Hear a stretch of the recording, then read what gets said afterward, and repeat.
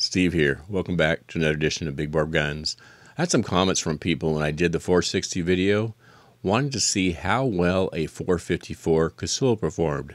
Now the 454 Casull is actually one of my favorite cartridges. Let me show you the cartridges here. This is an Underwood 454 Casull. Now it's slightly longer than a 45 long Colt, but shorter than a 460 Magnum. It's one of my favorite rounds to shoot. The 454 Casull is capable of taking out any game in North America, and probably most of them as well in Africa if it's placed properly. So some of those questions have been around how does barrel length affect a 454 Casull? I think you do get the optimal power out of a 454 using a rifle or a longer barrel. But let's go ahead and test that today. We're going to go out and take a look at the ballistics using two different firearms. First, we'll use this Rossi 454 Casull rifle. It should give you the maximum velocity out of a 454 Casull. It'll be interesting to see the difference. The second firearm I'll use will be this. This is the 460 Smith & Wesson Magnum, which I have reviewed before. It will shoot 454 Casull, which I have shot in this gun as well. It does have quite a bit of kick using certain 454 Casull cartridges, this particular firearm has a 5-inch barrel. If you take away the compensator here, it's actually about a 4-inch barrel. So we'll be comparing really a 4-inch barrel a 20-inch barrel and see how the ballistics differ between these two guns. So now we'll head to the range. We'll take some shots using a 454 Casull in both this 4-inch barrel and in the 20-inch barrel. And we'll see how the different bullets perform. Well, I'm back from the range now. Let's look at the results from using these different barrel lengths and different ammo. So the three different cartridges you're going to see shortly are these three. First is the Underwood 454 Casull. This is a jacketed hollow point XTP 300 grains and it's rated at 1650 feet per second. The next cartridge I used was this Magtech. This is a 260 grain semi-jacketed soft point with a flat tip.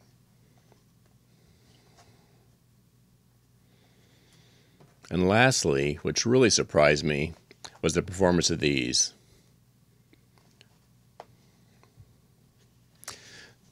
This is the double tap 335 grain hard cast solid point.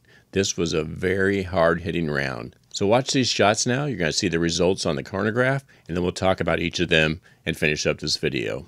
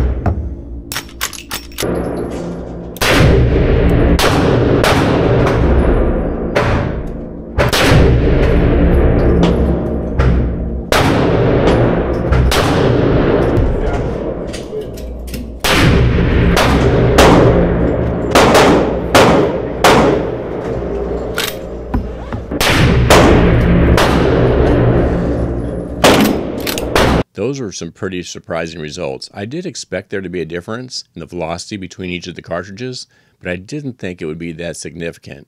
What was even more surprising was the amount of energy produced by the different barrel length. Let's take a look at the averages on each of these cartridges and the foot-pounds of energy they produced. So first off will be the Underwood. So the Underwood jacketed hollow point with 300 grains had an average velocity of 1448 feet per second. Foot pounds of energy was 1,397 foot pounds of energy. That is a lot of energy. Let's take it up a step now. With a 20 inch barrel, we averaged a velocity of 1,881 feet per second with 2,357 foot pounds of energy. Now, that is a very hot round. Between these two barrel lengths, we had an average loss of 433 feet per second and an energy loss of 960 foot pounds of energy. Now, that really surprises me. That is a significant loss in power from this cartridge. Now, let's take a look at the MagTech.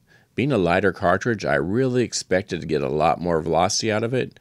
However, from a 4 inch barrel, it actually decreased in velocity, and that's probably because the bullet's traveling so fast it can't generate enough energy inside a 4 inch barrel. The average velocity out of the MagTech was 1,454 feet per second, producing 1,220 foot pounds of energy. So that's lighter than the Underwood. So that's a little bit less energy than you had from the Underwood cartridge, which I didn't expect. With the MagTech, however, on the longer barrel, well, things changed.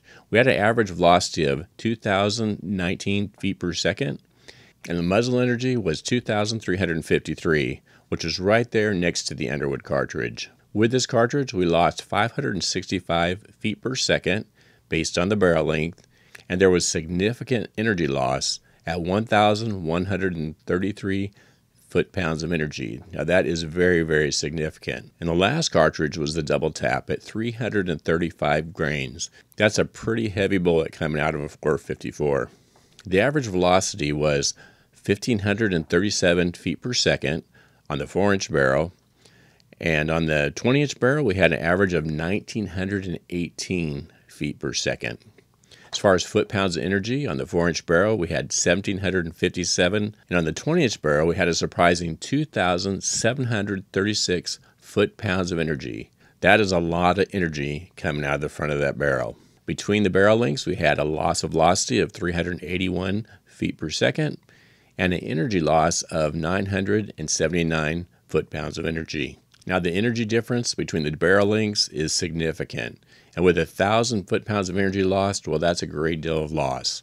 However, when you look at a four inch barrel with this amount of energy, it's still a very powerful round. There wouldn't be too many concerns using this double tap hard cast round with 1757 foot pounds of energy.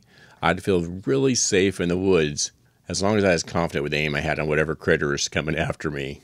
I hope this answers the questions you might have had on the 454 Casull and how it performed. If you do have any comments or questions about the 454 Casull, please leave them below. I appreciate everyone that takes the time to comment. Share your experiences also. I really like hearing back from you. If you found this content helpful and you take the time to like or subscribe, that'd also really be a great benefit. Well, until next time, we'll see you again on Big Bore Guns.